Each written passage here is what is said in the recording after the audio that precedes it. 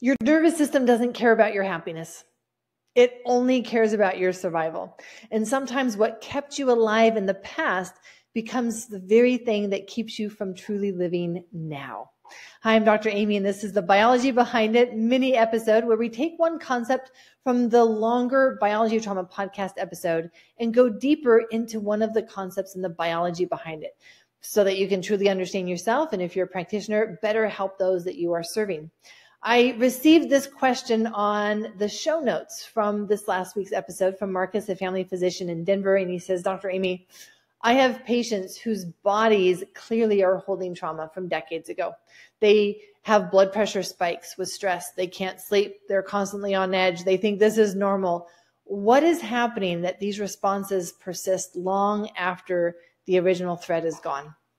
And Marcus, this question gets to the heart of what we discussed in episode 127. So for any of you who have not yet listened or watched that, please do so. And yes, you can now both listen and watch to these podcast episodes. And you will go to the biologyoftrauma.com podcast webpage where you will find episode 127 on why the body is wired for danger, understanding trauma's impact on the nervous system. And as we look at the biology behind the stuckness and these survival mechanisms that get stuck, let's look at the research that has come through on what are these survival mechanisms? What are these survival mechanisms that were designed to be temporary but have become permanent? Every trauma response engages three survival mechanisms. Every trauma response engages three survival mechanisms. These mechanisms are dissociation, immobilization, and energy conservation. Again, dissociation or a protective mechanism that creates distance from overwhelming experiences, a disconnect from our present reality, whether a mental escape, guarding, bracing, an emotional distance, immobilization, a paralysis, a shock, and then energy conservation or a shutting down of systems to preserve resources during threat. And this will feel like energy depletion. These are the three mechanisms that get engaged. What happens when these survival responses never get to complete, never have their sense of reset to safety, never have that sense that the story is over. It creates what I call the body trauma loop. This is how the body gets stuck, cycling between the survival states, the survival states being the stress and sympathetic or fight and flight, and the shutdown or the trauma response, which is the dorsal vagal the collapse, overwhelm.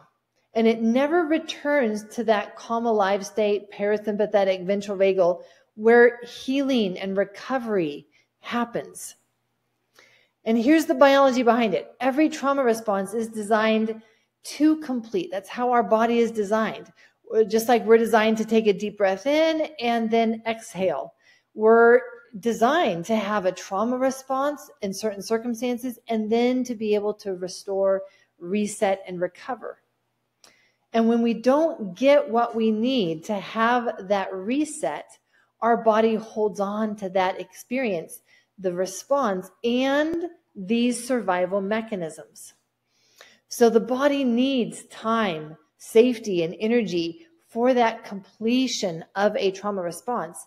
And when it doesn't get that, we will see the body still engaging these three survival mechanisms.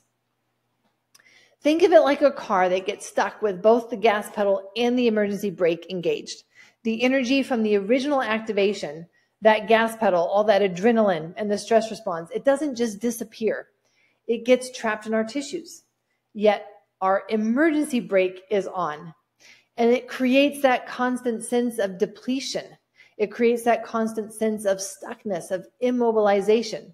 The emergency brake keeps us not taking action, even though the stress and the adrenaline would normally do that.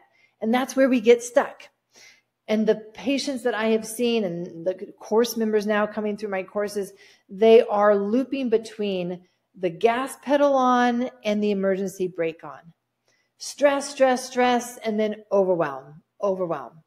And in the background, there's this ongoing and building sense of depletion and exhaustion that oftentimes they're trying to compensate for in order to function. That's why we call it a functional freeze. How do these patterns become automatic? This is where neuroplasticity comes in. Did you know that neuroplasticity is involved in wiring in our trauma responses? It becomes involved in how our body holds on to these survival mechanisms, these three survival mechanisms from the trauma response. You likely know the phrase neurons that wire together fire together.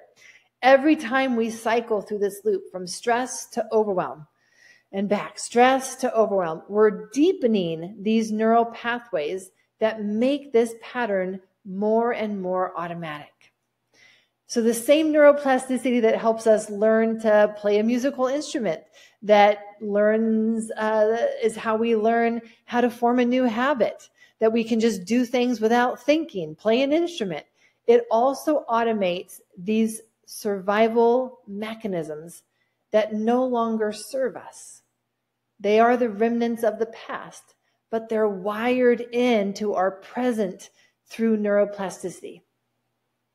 And so eventually, this body trauma loop, this cycling between stress and overwhelm, becomes the path of least resistance.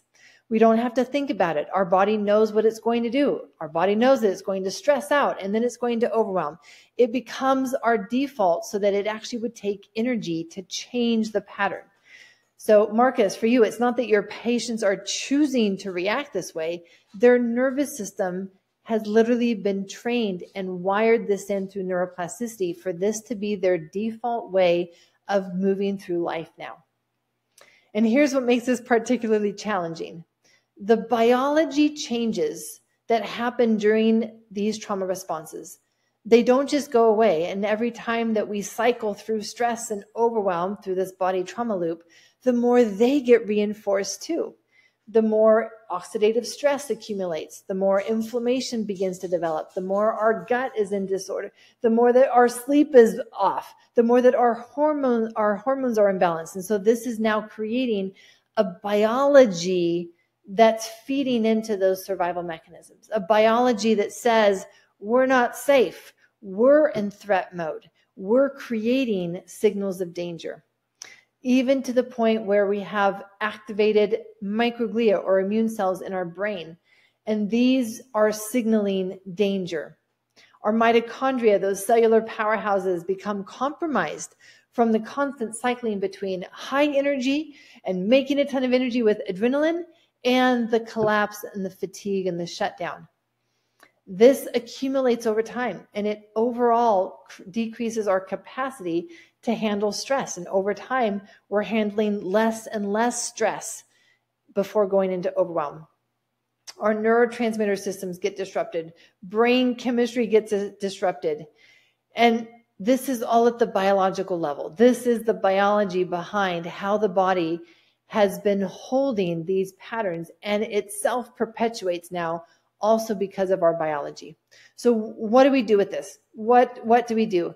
One of the first actions is to be able to notice when our body when our nervous system is in the different states. This is something that I talk a lot about in my book. And in fact, I share the nervous system journal that I used in my book with you so that you can start mapping out when you are in the different states. When is it that you are in the stress and sympathetic mode? When during the day do you reach that line that you're going into overwhelm? The more that you can be clear on the cycles and the rhythms of your body, the more that we can know where we can leverage your systems, your biology, your psychology in order to uh, shift that neuroplasticity and create new patterns in programming. And this will need to become a daily practice because we're working with neuroplasticity. Anything that requires a formation of a new habit requires consistency, daily practice. It can't just be once a week therapy session. That's why I need each of you and Marcus, each of your patients to learn how to shift their own nervous system so that they can be doing that during the week in between their sessions with you.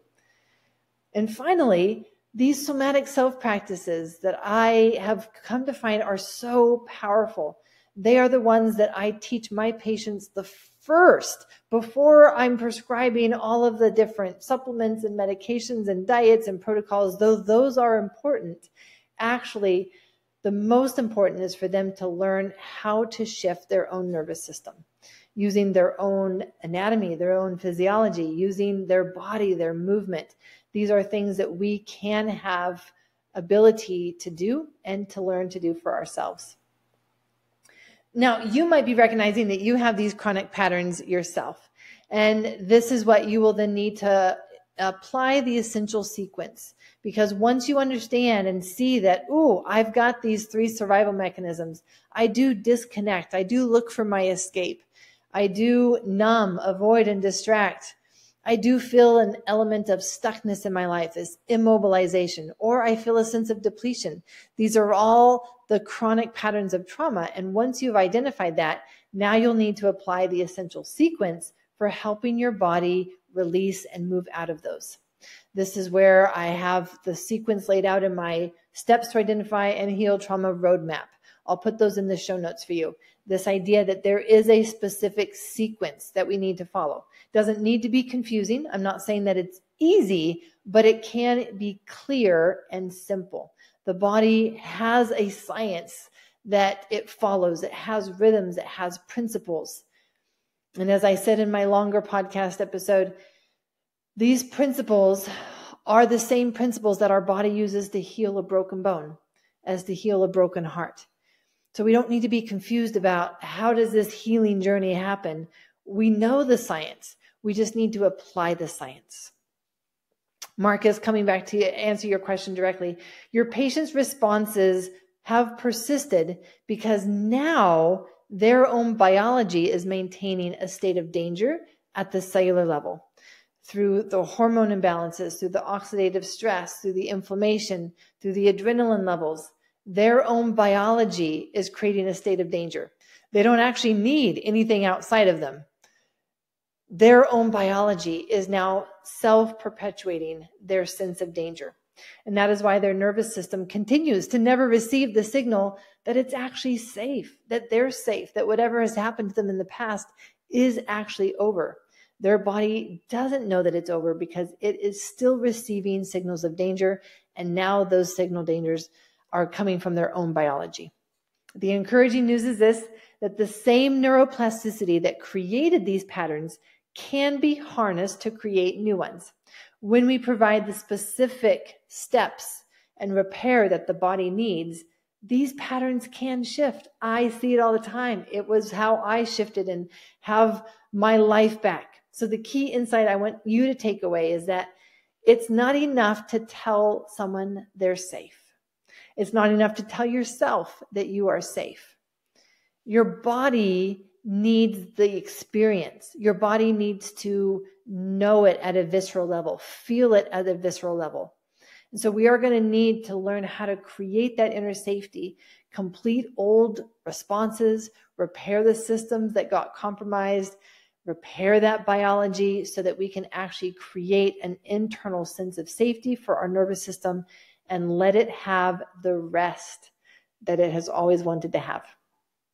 I'd love to have some questions from you. So if you want to hop over to the show notes, to LinkedIn or on YouTube, these are places where I'm frequently coming to see what questions do you have and commenting on what patterns do you notice? Do you notice any of these three survival mechanisms still operating in your life today?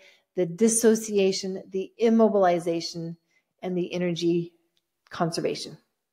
Remember, all these resources discussed today are in my book and it is available for order. So if you want to order that book, go to biologyoftrauma.com and there you will also find where to get bonuses if you are ordering my book in the pre-order window, which is anything up until its publication date on September 23. Over $400 worth of bonus bundle that I put together for you. And you can all find that at biologyoftrauma.com. I am your host, Dr. Aimie. Until next